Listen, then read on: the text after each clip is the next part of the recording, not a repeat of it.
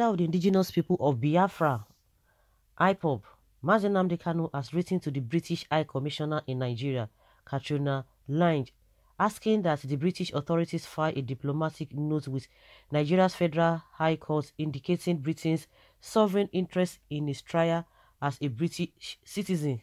Kanu, in the letter exclusively obtained Sahara reporters and written by his legal counsel, Aloy Ejimakor, on Thursday said the British authorities must declare that he is not a criminal but a person who possesses a political opinion which the Nigeria authorities are seeking to suppress using punishment of some of some sorts.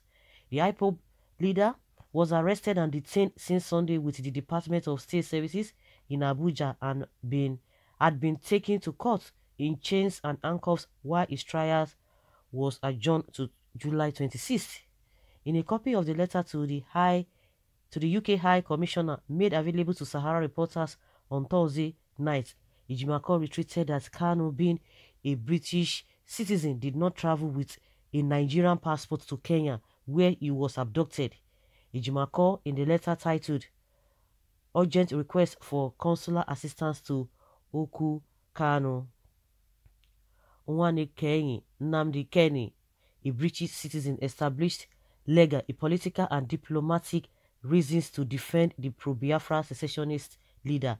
He also established that there was no instant order of extradition by any British court that was officially processed to deport Kanu from Kenya to Nigeria. He therefore asked the British government to demand the release of Kanu urgently. The letter reads, We are solicitor to the above-named British citizen on whose behalf an instruction will write this letter to request urgent consular assistance to him. Mr. Okwu Kanu, aka Nnamdi Kanu, is the leader of the indigenous people of Biafra and director of Radio Biafra, both of which are corporate citizens of the United Kingdom. Mr. Kanu resided in the United Kingdom, from which saw he departed on an overseas trip on or about June 20, June 19, 2021 on a British passport.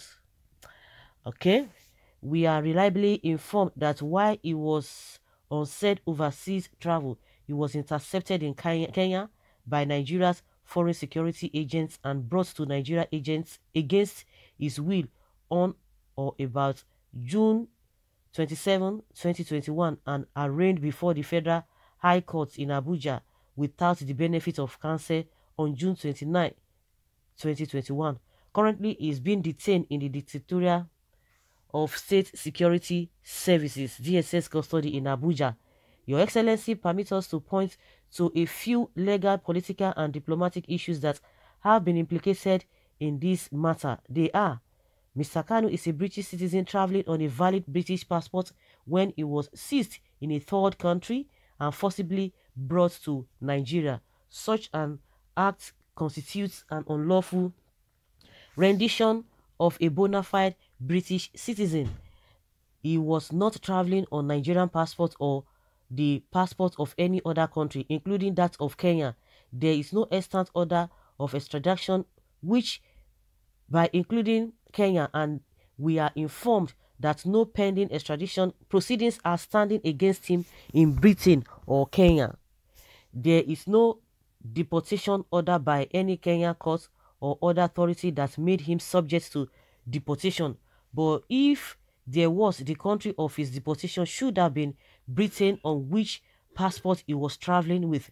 Deporting him to Nigeria just because he was born in Nigeria but not traveling on her passport is unlawful under international law. The enterprise upon which Mr. Kanu is engaged, which is seeking the restoration of the defunct state of Biafra through a referendum, is a protected political opinion. That is self-determination under British and Nigerian laws, where it is enacted as Cap A9 Article 20 Laws of the Federation of Nigeria 2004.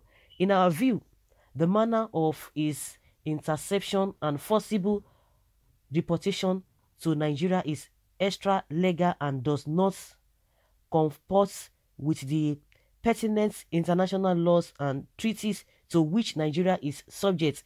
Ejimakor also asked the British authorities to view Kanu as a political prisoner entitled to a set of political opinions and not a criminal.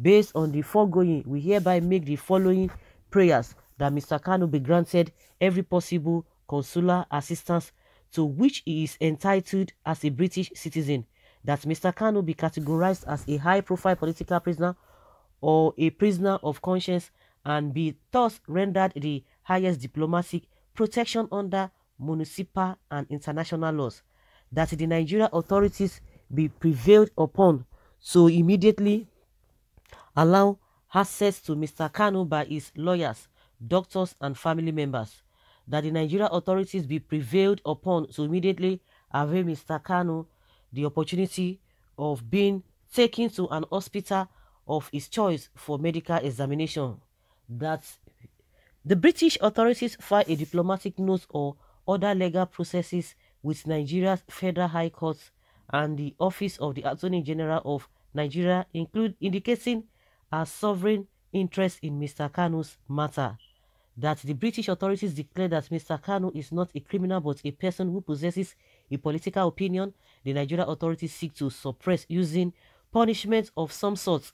That the British authorities urgently demand the unconditional release of Mr. Kanu from detention while we await your urgent and most favorable considerable considerations of our prayers. Please be assured of our highest esteem for your excellency, the High Commission and the British government, the letter added. Well, if you want to go by law now, because Nigeria government is making mass, yes, uh, with the help of uh, the international collaboration, it is evil.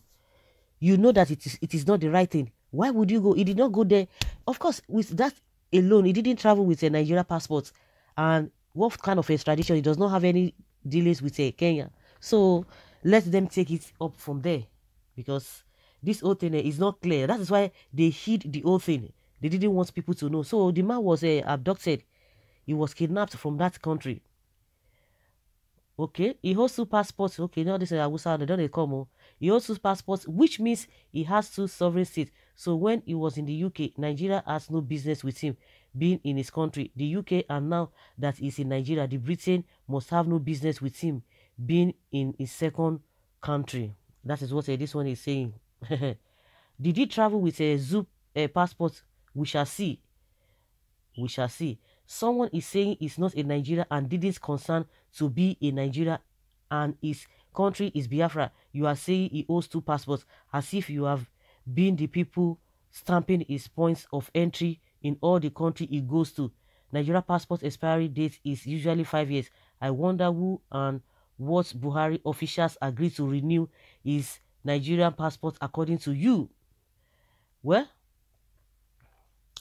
uh, it's a Biafra country. Uh, who is president of Biafra? Please go and study what traveling with foreign passports means.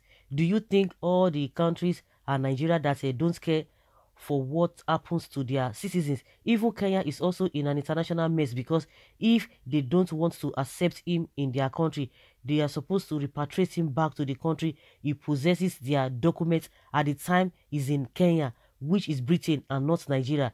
Kenyan government has been sued already by lawyers in Britain. So guys, let's hear your opinion and have your take on this matter.